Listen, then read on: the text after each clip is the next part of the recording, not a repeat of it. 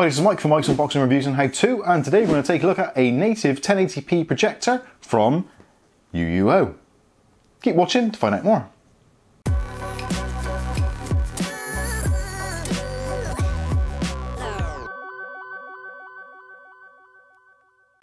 So today we're going to be taking a look at a projector from UUO. Now this is a relatively new company on the market, so I thought I'd give it a test drive and see what it's actually like. We've seen a few projectors in the past, all around the similar sort of price band, around about the sort of £200 mark. Now for a native 1080p projector, around about the £200 mark is pretty much your entry level. You can spend considerably more money, uh, up to £2,000 on a decent 1080p projector. So for £200 or thereabouts, not too sure what we're going to get, but let's go through the unboxing process. We'll get it set up, take a look at it, and I'll give you my uh, impressions and thoughts. So first of all, the packaging. Packaging looks really nice, nice retail type packaging, uh, not the usual kind of brown box that we're used to seeing. So yeah, it looks pretty decent, and it pretty much says what it is on the tin. Home theatre in a box. So let's take it out of the box and see what we actually get. So first of all, we've got our accessories box. So taking a look in here, I'd imagine we're going to get the usual suspects. So yeah, we get a installation guide or reference manual, all the bits and pieces in there. We get a HDMI cable. There is a UK 3 pin plug and this type of adapter uses the kind of kettle lead type adapter which we're all used to seeing. Obviously depending where you buy this from you'll get the appropriate adapter for your country. We get a AV adapter, so this plugs into the projector and allows you to plug in older devices such as Nintendo Wii's, that sort of thing, maybe an old Mega Drive, that kind of thing.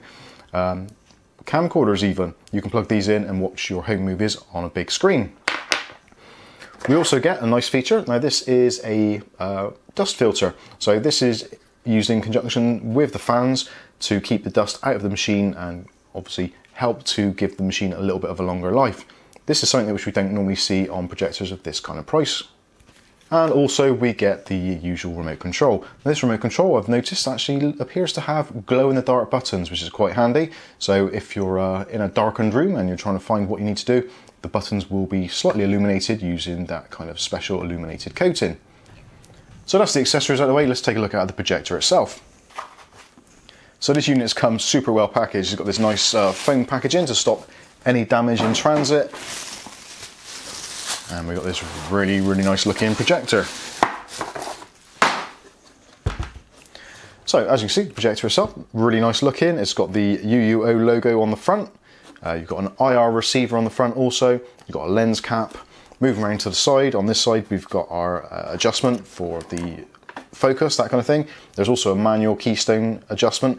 This actually has uh, up to 50 degrees worth of automatic keystone adjustment, so you don't have to angle it perfectly level. So if you're slightly down or slightly up wherever you're mounting it, there is automatic keystone correction here, which is something we, again, we don't normally see at this kind of price point.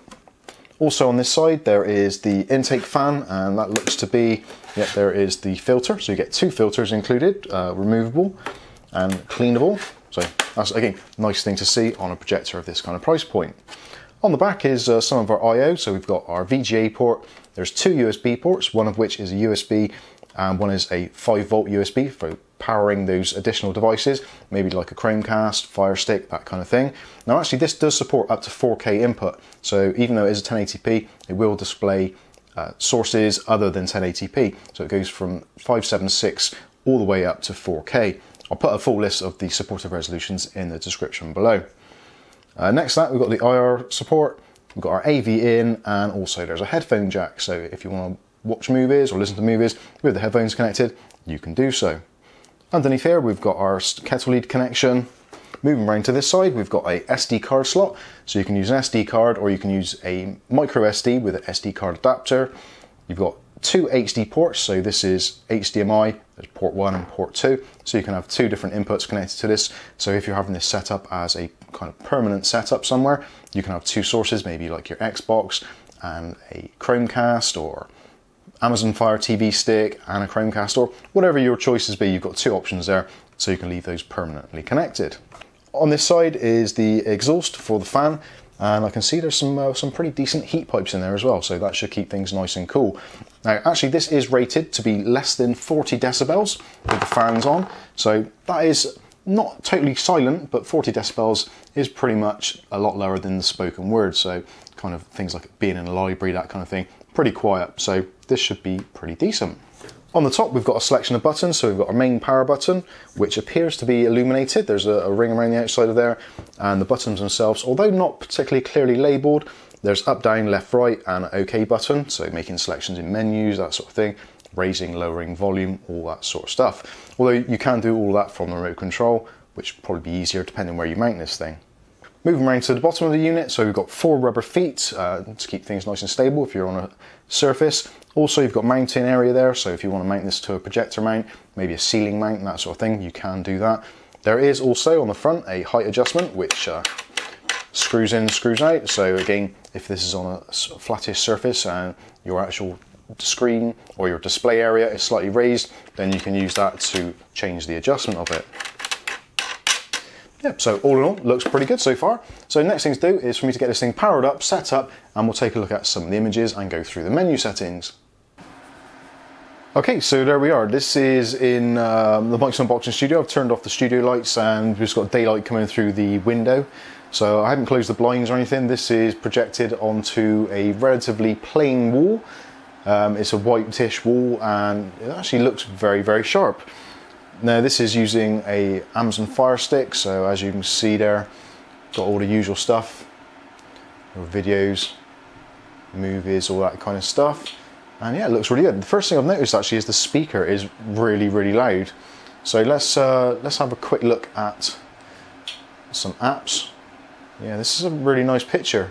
The sharpness is excellent. So again, you go into settings. Now this does actually support uh, Dolby HD, so you can actually set your sound if you wanted to to Dolby HD.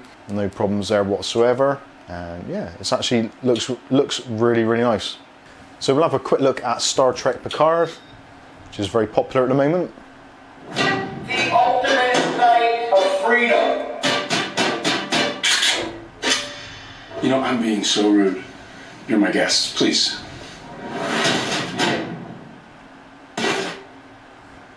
Wow, the audio is fantastic. There's a 5 watt speaker and it sounds really, really good. In fact, I might turn it down a little bit. Previously on Star Trek Picard. The disordered are Romulans? The only Romulans are assimilated, as far as I know. So there we go, there's a brief uh, look at that, so I don't want to get any copyright strikes. But yeah, you get the general idea. It's a really, really nice picture, even in what is pretty much daylight. And let's have a quick look on YouTube. So let's take a quick look at my uh, review of the uh, not quite perfect Fire B1 very good price, covers all the bases, but there's a couple of little potential downfalls which I thought I'd let you know about. So first of all, let's go through and introduce the parts. So first of all, so now I've re removed pretty much uh, most of the background lighting in the room. There's still a little bit, I can still see where I'm going, all that sort of stuff. Using to build in this case, maybe slightly higher, slightly lower, but somewhere around that kind of level. Uh, also using the V-Color RAM, 16 gigs of the Prism RAM, powered by a CIT ATB 500 watt Pro 80 watt bronze power supply. Again, pretty much in the region of what most people will be potentially using in this kind of setup. So very, very nice indeed. The, the sharpness, the picture, the contrast is actually really good. It's got a, seemingly a very good contrast ratio. So let's go back to our home screen now and we'll check out a movie. So let's watch the trailer for Blade 2 and get me an idea of what fast action scenes are like.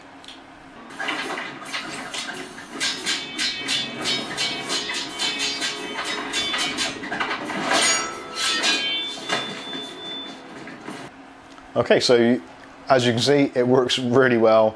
No motion blur, looks actually fantastic. Really, really pleased with that. So let's take a look into the actual menu for the device. So in the menu, you've got your usual stuff. So you've got your picture quality. Uh, I've got mine set to vivid, color temperature medium, aspect ratio 16 by 9. Obviously, you can set that to uh, whatever you want it to be. You can zoom to various levels. Uh, auto is probably going to be the best one to leave it at, to be honest with you. So we'll leave it at auto. Uh, we can go back to the menu. So noise reduction is on low, projection direction on front desk, so you can do it upside down if you want to. And the HDMI mode, you've got a choice of either PC or AV. So a few little things there.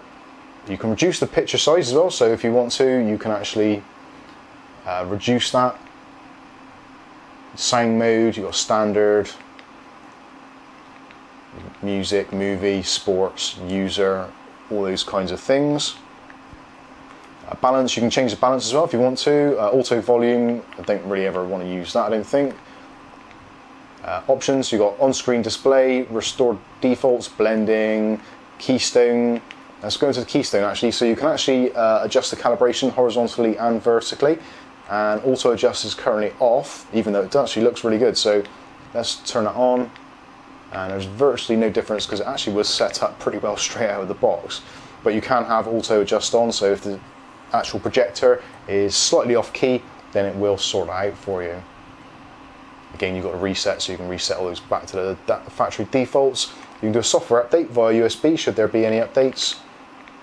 And you've got the sleep timer, so if you want to watch a movie and get it to turn off after you're done, so you set a two hour timer or whatever, you can do all those kinds of things. But a pretty basic menu, to be completely honest with you. There's not a great deal going on there, which actually keeps things nice and simple, in my opinion.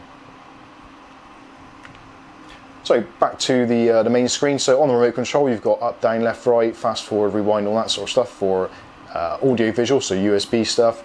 You've got mute as well, so you can actually mute the sound. And like I said, the sound quality is excellent. It's actually pretty loud as well.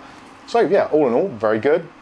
Very good quality display. The image is actually very sharp, and even from I'm probably about seven foot away from the screen at the moment, it's projecting about a six foot, seven foot diagonal uh, display at the moment. You can display anywhere up to uh, 300 inches on a display. So the further back you are from the actual screen, the bigger the image is. So if you're five foot away from the actual wall, then it'll give you roughly a 50 inch display. 60 inch display at six foot, 70 inches at seven foot, and you get the general idea. So the further you're away, the bigger the screen will get. Obviously, it is only 6,000 lux, so it uh, it is a lot brighter than a lot of the budget ones on the market, but just do bear that in mind depending where you are. If you're outdoors, it is going to have a slightly uh, less brightness, so you may want to be closer to your subject.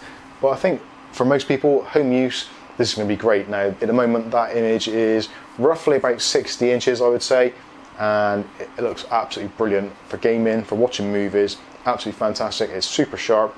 Even with my old man eyesight, it still looks absolutely great. And if I put my glasses on, yeah, it is super, super pin sharp.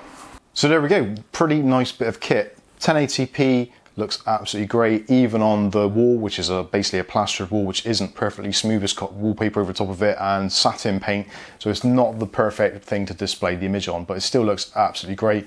Uh, in between finishing off this video and actually doing that, watched a bit more of the movie, played some games on there, put the hook up from the PC behind me, playing some Counter Strike Source, uh, also some Far Cry 5 absolutely spot on, no problems whatsoever. Great image quality, and the sound is actually fantastic. It's only a 5 watt speaker, but it really does put out a lot of bass and it's really super clear. Even if you're just watching regular TV from Comcast or Sky or whatever it is, it's going to look and sound absolutely fantastic. Now, one thing I forgot to mention is the uh, dimensions of this unit. So, width wise, uh, 12 inches or around about 31 centimeters. Depth wise, you're looking at 9 inches or 23 centimeters, give or take. Uh, also, a little bit more on the front for the actual lens itself, but not a great deal more. And for the actual height of the unit, we're looking around about 4.5 inches or so, about 11 and a half, 12 centimeters. So, a relatively compact device. So if you've got yourself some shelves or something, you could put this mounted on a shelf, leave it there, and then use it when family come round or you want to have a bit of movie time, all that kind of thing. Really, really good. Downsides. Now there are some downsides to this. I would say the fan is a little bit on the loud side, uh, although if you're watching movies and you've got the sound turned up, it does drown out pretty much completely whilst we are watching a bit of Blade there, and also whilst playing games, the fan noise completely disappeared in the background. I didn't notice it at all over the other stuff that was going on. The other downside would be the location of the HDMI jacks. On the side for me isn't ideal. Again, depending where you're putting this, you may want to have it look a little bit more discreet, so you don't really want something sticking out the side. But again, you could always get a right angled uh, HDMI connector and have it sort of tucked away. But very, very minor niggles for something which is actually probably worth a lot more than they're actually charging for it. So at the moment in the UK, looking about 230 pounds uh, on Amazon. In America at the moment, around about $250. So that's actually a pretty good uh, trade-off. If you're buying these in the US, you will get them for a fantastic price.